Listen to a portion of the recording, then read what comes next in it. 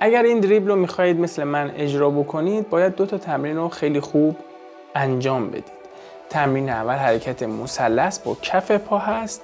سه تا ست دهتایی اجرا می‌کنید و حرکت دوم همین حرکت همراه با حرکت وی سه ست دهتایی